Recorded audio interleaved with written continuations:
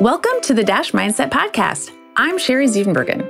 You were born, you're gonna die, and your adventure is your dash in between. So make the most of it. Unlock your potential in all aspects of your dash by embracing your uniqueness and living in a way that's authentic to you, not by doing more things, but by focusing on the right things. I'm a former corporate leader turned coach who's on my own journey, and I'm passionate about helping you on your journey too. So, on the podcast, we'll explore how to live authentically by deciphering who you truly are and what you truly want. Are you ready to take a step toward designing your dash? Someday doesn't actually exist, so let's do it now. Hello, and welcome to the Dash Mindset Podcast. Sheri Z here. I so appreciate you being here today. Today, we're going to dive deeper into strengths, specifically into each of the executing strengths. The strengths I often refer to as the get blank done strengths. And I highly suspect you know what, uh, what the blank is. So last time I dove into relating strengths. I'll be diving deeper into thinking and influence strengths in future episodes. And overall, I'm continuing down the strengths path for couple reasons. For one, as I mentioned before, it's hard to read the label when you're in the job it's really hard for us to recognize our own strengths because it's the way we operate. It's just naturally what we do. They're they're the talents that we just naturally use on a day-to-day basis. It's just how we live our lives. And another reason I'm diving deeper into each type of strength is because one thing I most often hear from the people I work with is, uh, why can't I have those strengths? Because when they hear about other people's strengths that aren't as natural to them, they think, oh, I want those. Probably similar to, you know, what a hairstylist hears when somebody with straight hair comes in and says they want curly hair, and someone with curly hair comes in and says they want straight hair. It's just how we operate as humans, which can be exhausting, right? So basically, we have the strengths that we wish we didn't on, you know, um, just that's what I often hear. And we want the strengths to be down. So I encourage you to think differently about that because wishing you had what you don't is exhausting unless there's a way you can just naturally get it, right? So I really want to emphasize that no strength is better than any other. Each strength may be perceived differently by others as better or worse than another because it's based upon their own strengths, right? And the way they operate. It's how you're perceived by others. And it's also going to be based on the situation, which particular strengths are going to be most useful in particular situation, right? So no strength is better or worse than any other. It's just how we perceive them based upon those things. We have access to all of them. We always have access to all of them. So I want to go back to the whole coffee mug thing that I mentioned last time in episode 27 to really hit this home. I want to really beat that dead horse. so in episode 27, I showed the similarity between strengths and a cupboard full of 34 coffee mugs, which, you know, most of you, if you're like me, actually have. We can always access all of the coffee mugs in our cupboard. It's just that some are easier to access than others. We naturally grab the ones in the front, right? So as we dive into executing strengths today, if you find yourself thinking, oh, I don't have that one. I want that one. I encourage you to think about those months. Okay. And the fact that you can access any of those months, any of those strengths at any time. It's just that it's easier to access some than others. So back to comparing your coffee mugs and strengths. Let's say you have some coffee mugs you, you just don't use much. Okay. Let's say your aunt Cynthia gave some to you for a wedding gift forever ago and they're in the back of your cupboard. I mean, they're okay. You like them, but they're just not as practical. Maybe you have to hand wash them. They're just not as easy to use. I mean, who hand washes anything, right?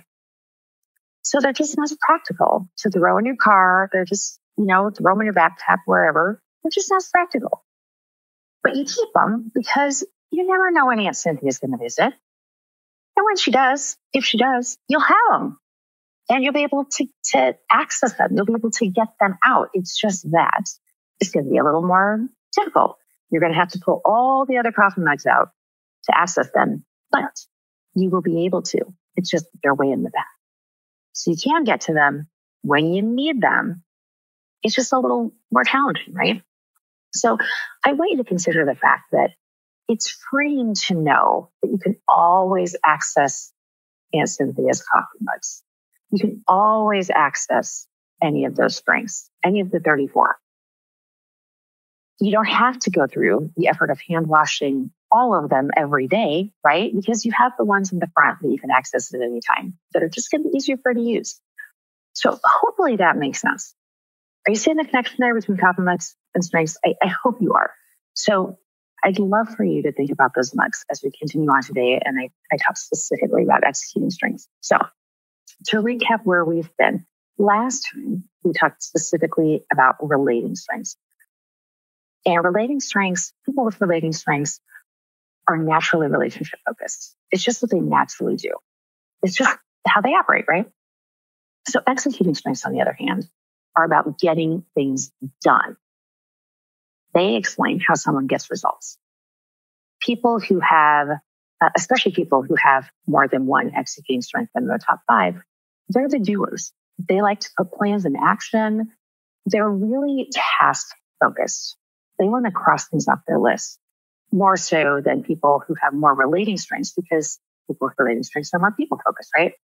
So the people with executing strengths like to get things done and they just do it in a way that's going to allow them to cross something off, off their list. So if you have someone on your team who has executing strengths, these are the people I encourage you to look to to make things happen, to get things done.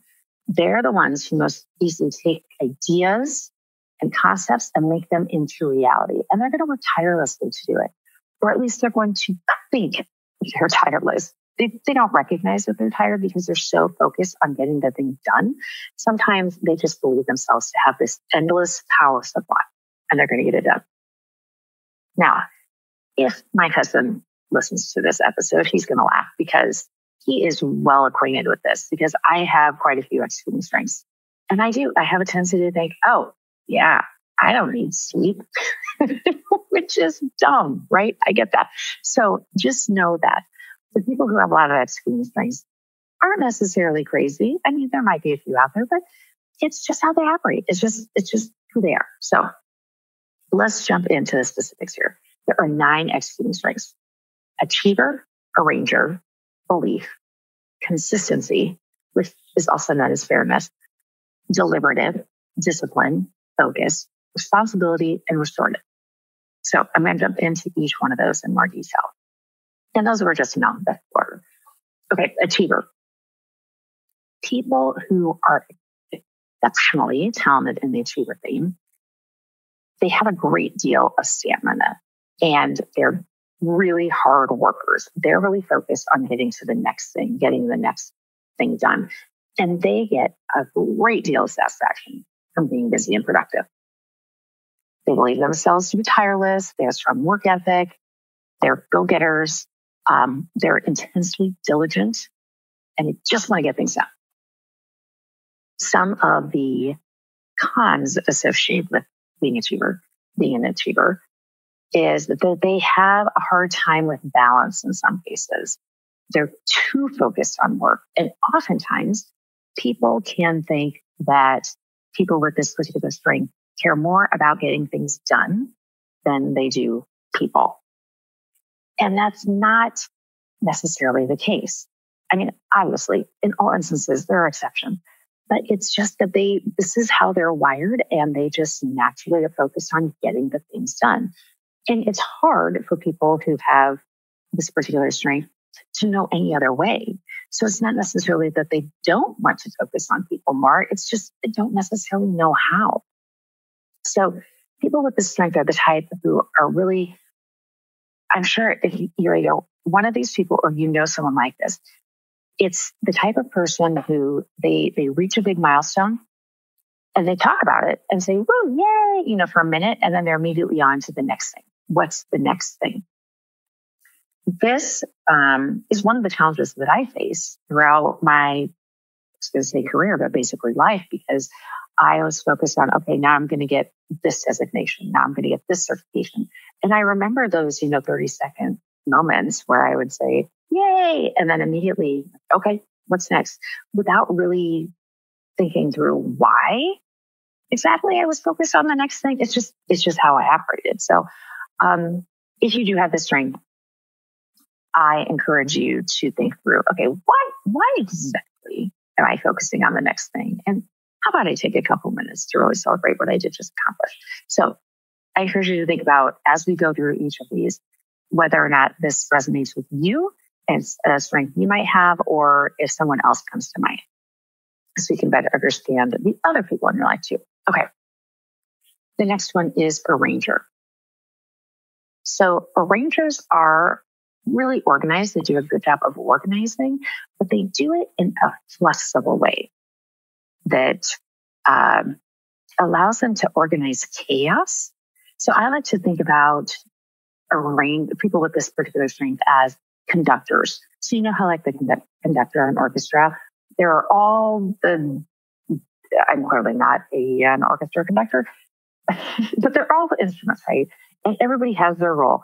And a conductor can just easily pull it all together and they know how to arrange it in a way that's going to make sense and make it um, effective. So they like to manage chaos and they can quickly move from one thing to another. And they're always focused on maximum productivity and making things operate in the best way they can. They juggle a lot of things. Um, they're flexible in this particular way. It, it's different from adaptability, which is one of the relating things I talked about last time. But they they can uh, flexibly organize, um, and they're just they're just focused on multiple things, and they're always juggling a lot of things. Now, one of the cons of this is they can be perceived to be too flexible in some cases they can it can be perceived that they're lacking any structure and that they're constantly changing priorities because they can switch from one thing to another and rearrange so quickly. Now, I will say this is one of my top five strengths. And so I my husband struggles with this at times because I will just I'll, you know, something will just make sense in my head. So I will move something into a place that makes more sense to me because, you know, that's the way I operate. And clearly other people are going to think, oh, yeah, I bet she moved it to this other place because that just makes more sense, right? Well, my husband doesn't have this in his top five. And if he did, right, he'd have his own way of arranging. So even if he did, it wouldn't be particularly helpful for either of us. Um, but he will often, I mean, I'll just decide, oh, this thing that we've had in this place for 12 years, yeah, that doesn't really make any sense. We're going to, I'm going to move it over here. And so I will, you know, if I'm out about, you know, doing whatever, and my husband's at home, I, I don't know how many times I've gotten a call from him saying, Hey, Sheri, where'd you put the, whatever, where'd you put the spoons? no, just spoons or something. I think he can count on me to keep those in the order. I mean, that that is makes sense, right? But and I'll have to stop and think, oh, right, yeah, what what makes the most sense? Whatever it is. So, you know, he doesn't he doesn't understand because why would he? Right. Um, so it's important to stop and think about, okay, what is natural for us and what's going to be um, hard for other people to understand. Someone I, I worked with uh, has this particular strength. And it's so funny because when I was, we were talking through it, she said, Oh, that's why when I made the decision that everyone on the leadership team should, should switch offices and we should, you know, just kind of move things around. Why they looked at me like I was crazy and they had no idea where I was coming from because it just makes sense to her. In her mind, she was, she just thought, oh yeah, okay, we get switch this person over here and over here yeah, they thought she was nuts, right? So that's just that's just the arranger. That's just is natural for her to think that way and not so much for other people. Okay. Belief. People who have this particular strength have they're just certain about their core values, and those core values are just unchanging. And out of those core values, they have just this, um, they're able to define their sense of purpose in their lives. So they're considered dependable. They can be trusted. Um, it's really, it's particularly important for these people for people with this strength to um, work in alignment with their values. Now, that's something that's important for everyone, but it's especially important for people who have the belief strength.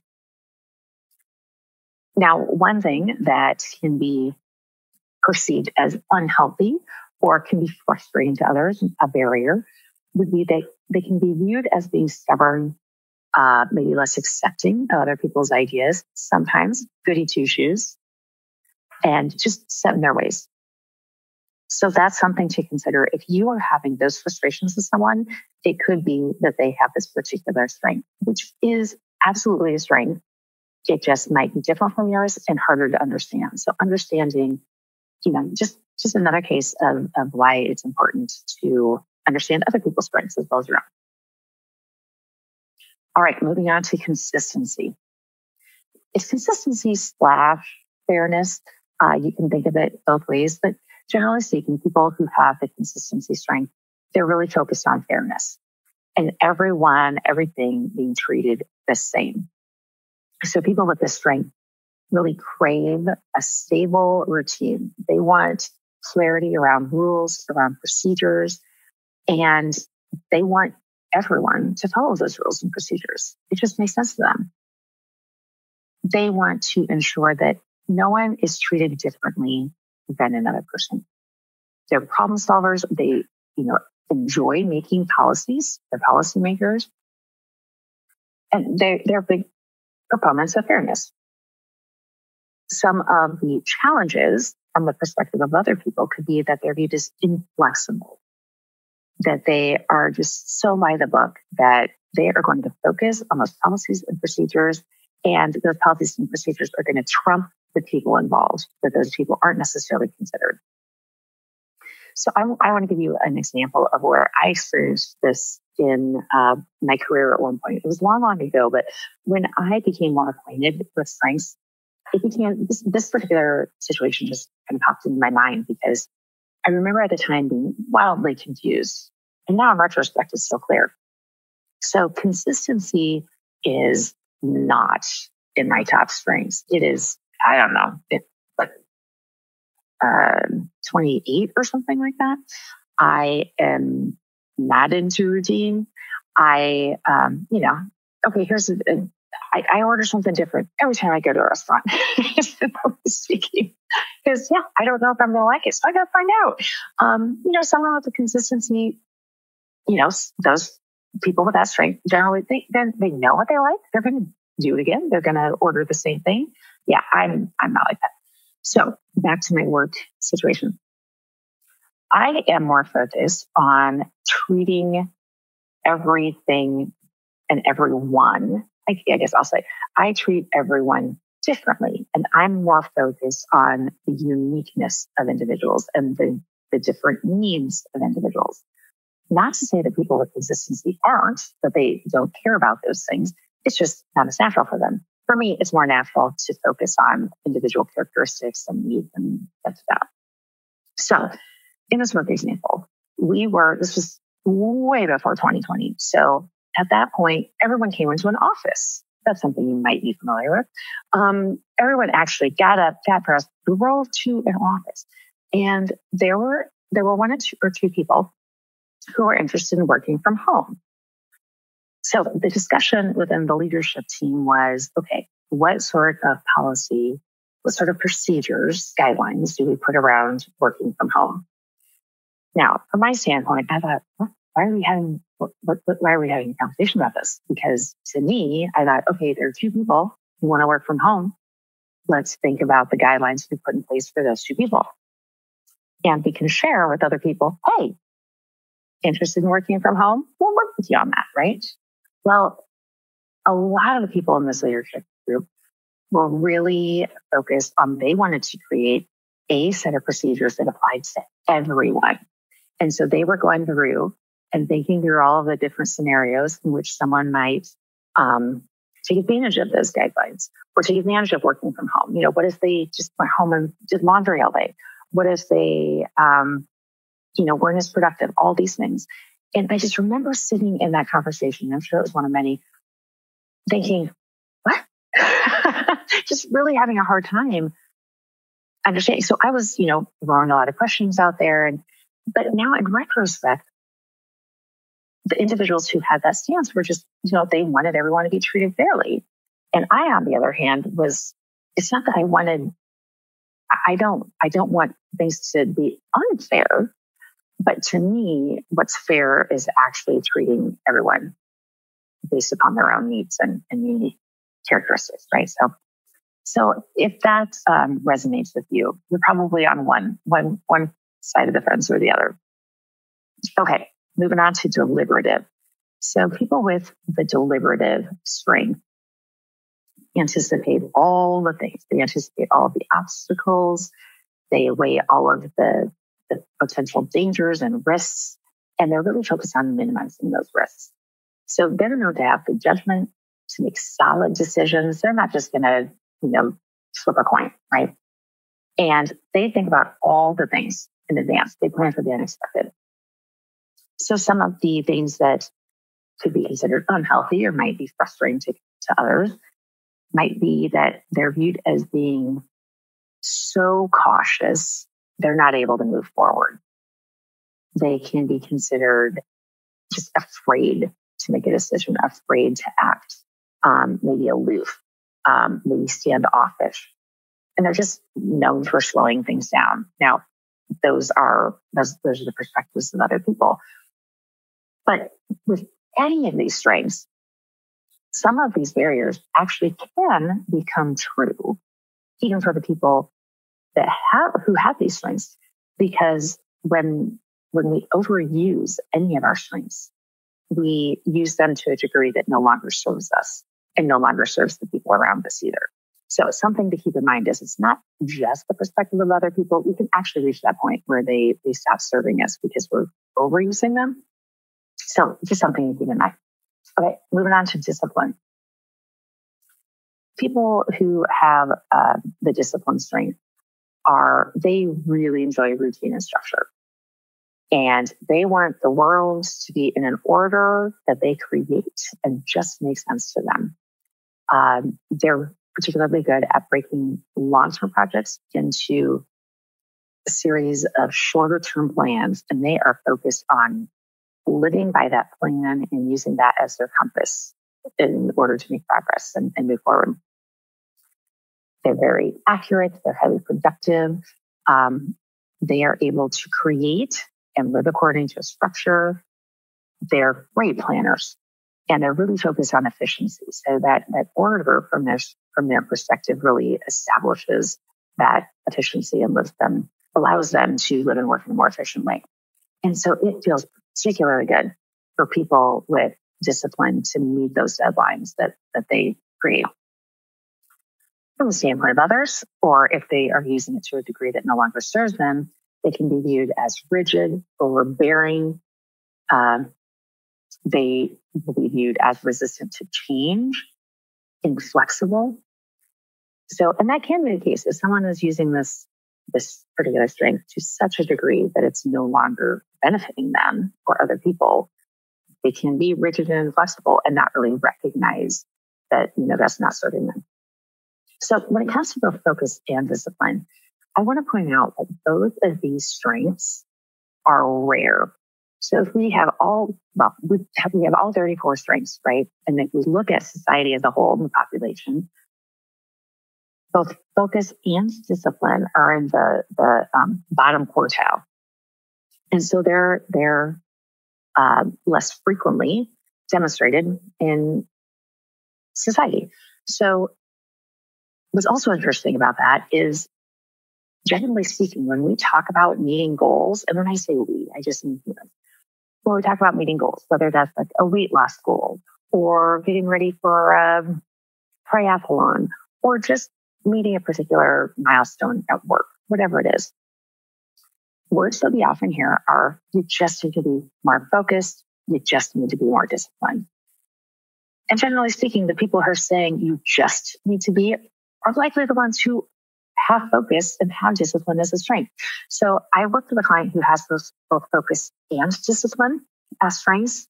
So she's, you know, super rare. And it's really funny when having a conversation with her about this and some of the frustration she has with other people because I mean, she just thinks, why can't they just focus, just create a list, just get the things done, just create a plan and live according to that plan. And so it's really, it was interesting for her to learn that this is actually very rare because we think everybody should have the same strengths we do, right? And we don't consciously think that way, but we just, it seems like, well, doesn't everybody operate this way?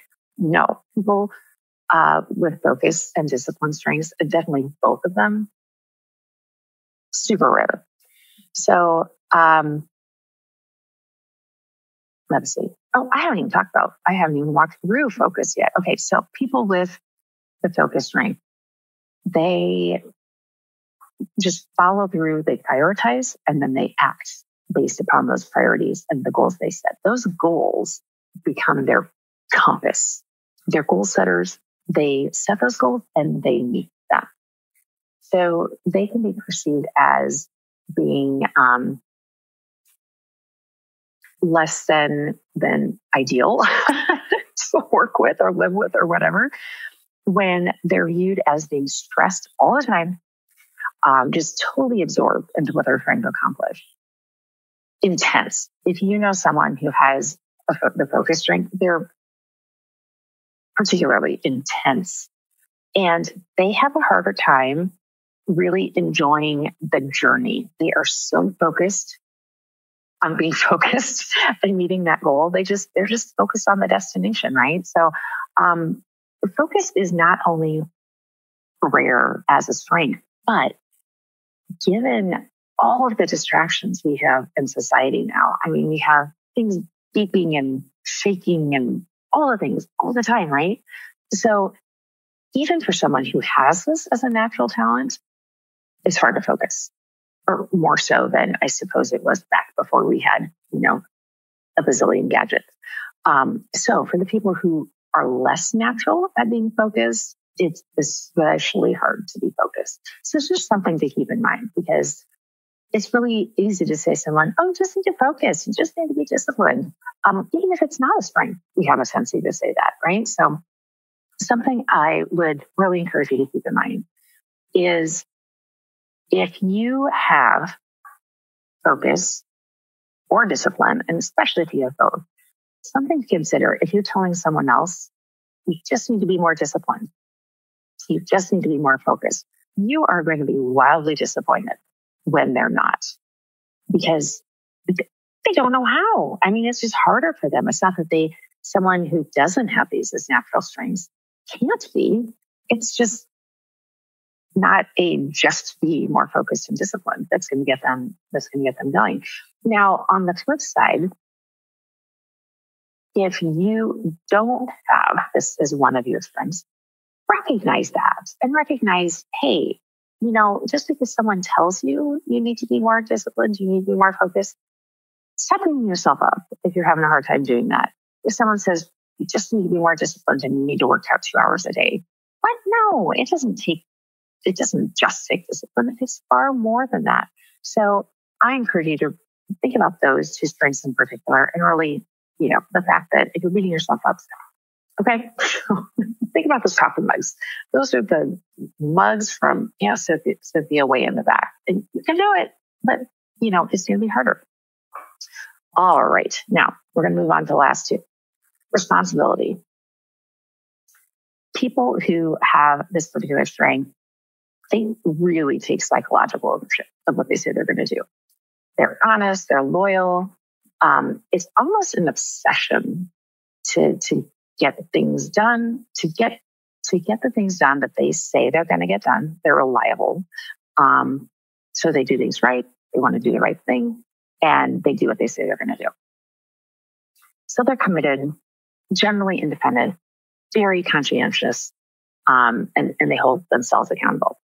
So some of the things that can frustrate others about this or if they are getting to the point where they're no longer serving themselves by overusing this strength, they can be viewed as micromanaging, maybe obsessive, um, a really hard time of letting go of things. So one of the clients I worked with at one point had both this strength, responsibility, and deliberative. The one we talked about earlier that was all about considering all the risks, considering all the obstacles and thinking through, those through. So given the combination of responsibility, responsibility and deliberative, she not only took ownership and ensured things got done, she also thought everything through. And she's finding herself frustrated in her position and wondering why. Because generally speaking, when she thought about her position and the people she worked with, she really enjoyed it. But when we talked through her strengths, she realized, oh my gosh, I am not in the right position because she realized she had very little decision making authority and she had very little control over the decisions other people's other people were making. She was able to, to provide to influence to a degree, but not to the degree she really needed to, to really um, live into her strengths and feel like she was being utilized to the degree she she really should be. So we thought about different positions she she explore instead, and she actually within I think it was two or three weeks, she applied for another job and got it. And she's been so much happier in that job because, you know, to be someone who is takes ownership and thinks through all the things and then not having the ability to make any decisions with that is really just soul sucking. So, so just, you know, think about that. Um, the people with responsibility are, you know, people with any executing strength are often the people that, that get all the things. Everybody gives them all the things because they know those things are going to get done. Um, with responsibility, specifically, people with that strength have a hard time saying no because they really think, oh, oh yeah, I could do that. I can take ownership of all these things and I should. So that's also something to, to really watch for. If you are working with someone who continues to say yes, you might have a tendency to continue to give them the things to say yes to. Um, but really, you know, they have uh, a capacity, whether they realize it or not. So it's something to be aware of so they don't get burned out. Okay. Last one is restorative people who have the restorative strength are really, they really enjoy problem solving and they are energized by it. So they like to analyze the problems. They like to figure out, okay, what's wrong? How do we find a solution? Um, they enjoy bringing things back to life. So they like to troubleshoot, uh, find improvements and solutions something that can be unhealthy about this particular strength of overusing it is they just focus on the weaknesses and they stay focused on the weaknesses. They can become really negative, really critical. They can just point out problems all the time because from their standpoint, like, okay, I'm pointing out a problem. Yeah, that's a good thing, right? You, you don't want to be living with this problem, but then they can stay in it. And so that can be really draining to other people who really don't understand why they're just constantly focused on problems. So that is only something to consider too. They are good at solving the problems, but they can get pulled in to the extent where they, they're not even solving. They're just focused on the problem itself. So those are all the specific executing strengths. And people who have, especially if they have more than one executing strength, they have a tendency to prefer working independently. Now, like any of the strengths, it also depends upon the other strengths someone has. Because, so for instance, I have um, responsibility is one of my strengths too. I really enjoy working independently. However, based on some of my other strengths, I also enjoy working with people. So I need a combination in my life, which is, you know, also one of the reasons why I don't like routine. I don't have that particular strength. So, um, they have a particularly hard time delegating because in general, they know they can do it themselves and they have a tendency to think they should be able to do things themselves, everything, all things. Um, and so why not? Why wouldn't they? I mean, it's their preference. So now from the perspective of someone who doesn't have a lot of executing strengths, it's easy to see when someone who does is overusing them. It's easy to see when someone, you know, is sleeping four hours a night. They should be sleeping more than that. It's easy to see and to point out. And it's also easy to keep giving people with those strengths more things to do. So I really encourage you to think about that and think through, okay, how can I help people not overuse these strengths? And how can I be more understanding when someone is using a lot of these strengths?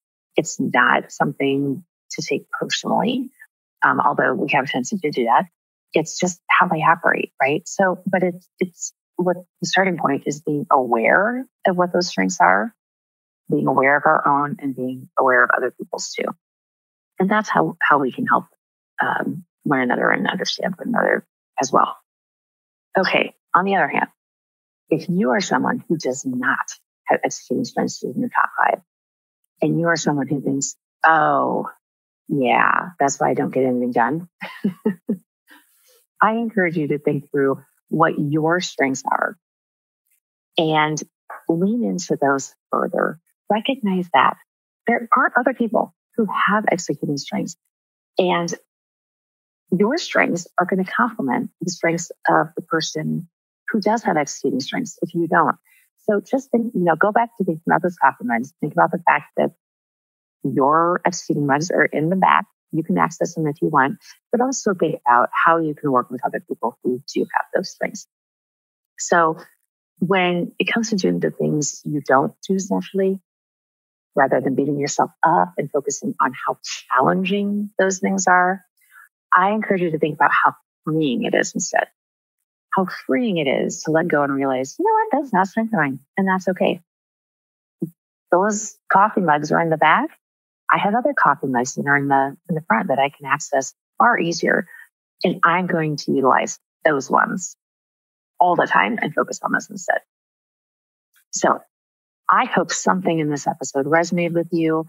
I have talked about relating strengths in episode 27, talked about executing strengths, and we'll really dove into this, into executing strengths this time.